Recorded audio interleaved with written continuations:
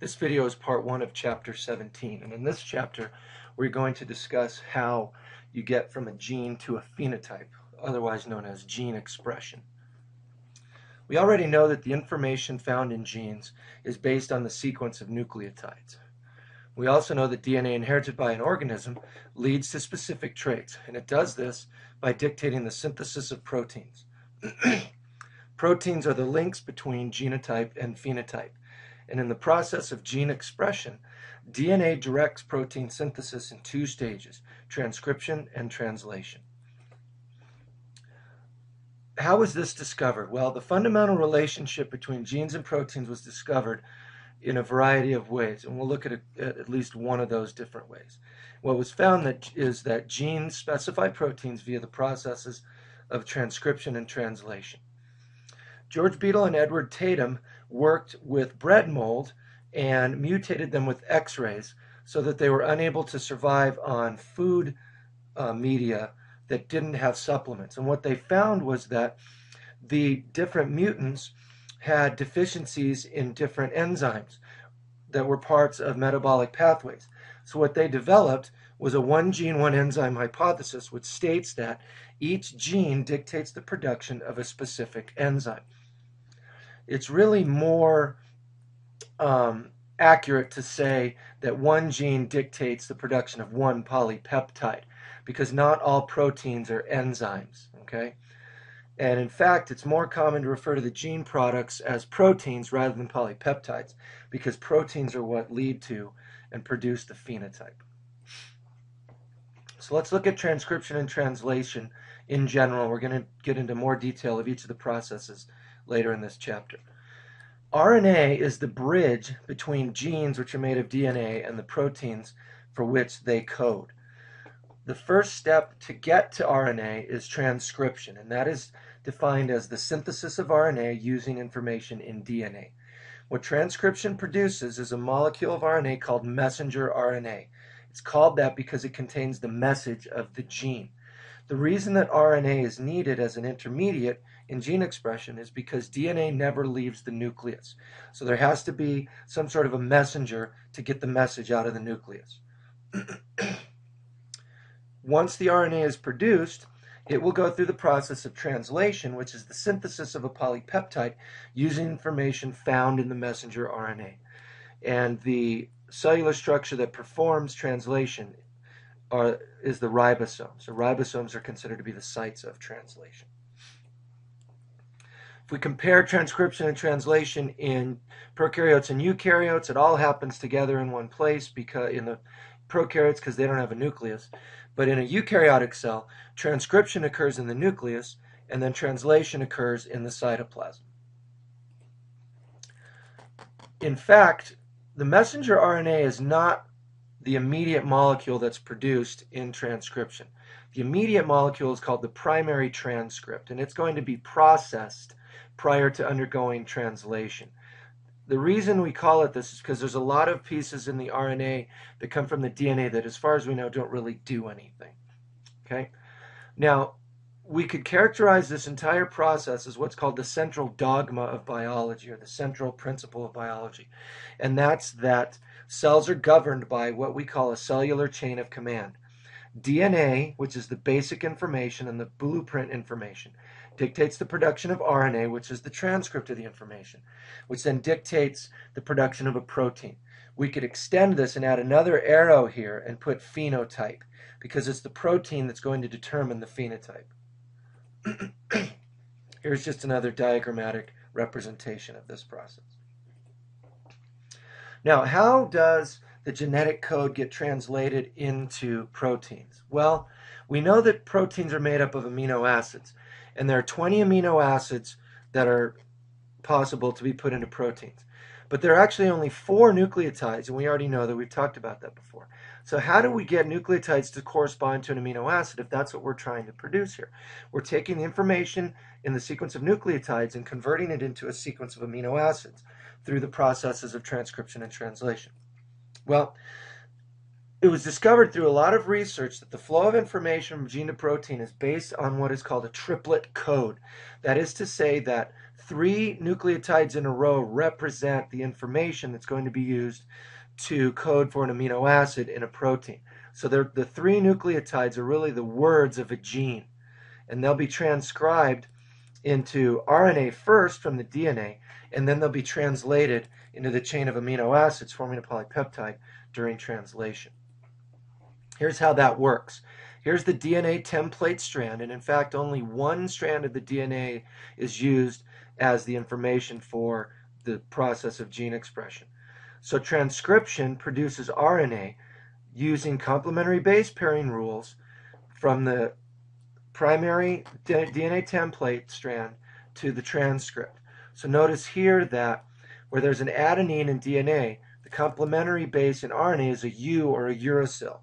If you remember from a while ago, way back in chapter 5, we talked about the differences between DNA and RNA. And then C and G pair up normally. And then wherever there's a T in the DNA, you would get an A in the RNA. Notice that RNA is single stranded. That's another difference in RNA. And then when the RNA is translated, it is translated by reading, the ribosome reads three bases at a time, and these are translated into specific amino acids. As I stated before, only one of the two DNA strands provides the information to form the RNA transcript, and the template strand is always the same strand for any given gene. And again, during translation, the messenger RNA based triplets, which are called codons, that's a good vocabulary word for us, are read in the 5' to 3' direction. We talked a little bit about that in DNA. This is very, very important for understanding how translation works. And then each codon specifies which amino acid is going to be placed in order in the building of the polypeptide. now, since there are three bases in a codon, there are a total of 64 possible codons. And these were deciphered in the mid 1960s. We're not going to go into a lot of the detail of that. Um, of the 64 codons, 61 actually code for amino acids, and then three are what we call stop codons or stop signals. We'll get to that in a minute. One thing interesting about the genetic code is that it is redundant. What that means is more than one codon may specify a single amino acid. We'll see that in the chart here in a second. But no codon specifies more than one amino acid. In addition, when the ribosome reads the codon, they must be read in the correct order, or what is called the correct reading frame, or correct groupings of bases in the RNA in order for the specified polypeptide to be produced correctly. Here's the genetic code. Notice that the amino acids are abbreviated in three letters. So if a codon is UUU in the messenger RNA, the ribosome is going to translate into a phenylalanine or translate that information into a phenylalanine. Okay, notice there's also a codon called the start codon. AUG is always where the ribosome is going to start reading. We'll get to that more later. But it does represent an amino acid called methionine. You can see here, like for instance, for proline, which is PRO, all the codon needs to be is CC first, and then the, for, the third base in the codon doesn't really matter. You're always going to get proline. The genetic code is nearly universal. What that means is all organisms transcribe and translate the genetic code in the same way. This is one of the major pieces of evidence that supports the, the scientific theory of evolution that organisms are related. In fact, genes can also be transcribed and translated after being transplanted from one species to another. what that means is a gene from any organism can be expressed in any other organism. Here's some examples of that. Here's a tobacco plant that's had a firefly gene inserted into it. Now the tobacco plant glows. And then here's a pig that has a sea jelly gene or a jellyfish gene for bioluminescence, which means it glows, and it turns the pig green. Now let's take a closer look at transcription, which is the first step in, in gene expression. Let's first look at the molecular components of the machinery and then we'll get into the process. RNA synthesis is catalyzed by pro, an enzyme called RNA polymerase. We've seen polymerases before in DNA replication. When the process occurs, what happens is RNA polymerase will split apart the DNA strands and then begin building the complementary RNA that is the complementary RNA strand to the DNA template strand and it follows the same basic base pairing rules except the uracil substitutes for thymine. Here's what that looks like. There are three stages, initiation, elongation, and termination. There's usually a promoter region prior to the beginning of the information in the gene. That's where RNA polymerase is going to bind. It's going to split apart the DNA double helix and then begin building the RNA transcript. So in, in initiation, RNA polymerase pulls apart the DNA.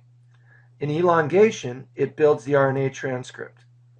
In termination, it reaches the end of the gene and it knows where the end is because there's a certain sequence of bases there that the that the RNA polymerase recognizes, and then you have a completed RNA transcript. Okay, we talked about the promoter, and this usually in bacteria we see a promoter, but we also see it in, in eukaryotes. And then also in bacteria, there's a terminator section at the end of the gene. We don't really see a lot of that in eukaryotes. Okay, we call the stretch of DNA that's transcribed the transcription unit.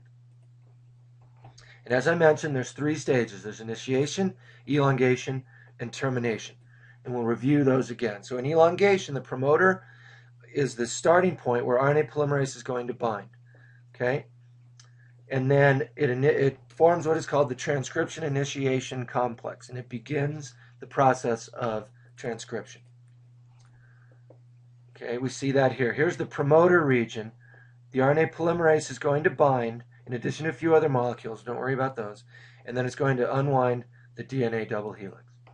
Then when elongation happens, RNA polymerase moves along, bringing in new RNA bases to complementary pair to the DNA template strand, building the exact, an exact copy, well, a complementary copy of the RNA from the DNA. And here's what that looks like. So here's RNA polymerase. You can see that base pairs that are complementary to the DNA are being brought in and bonded together.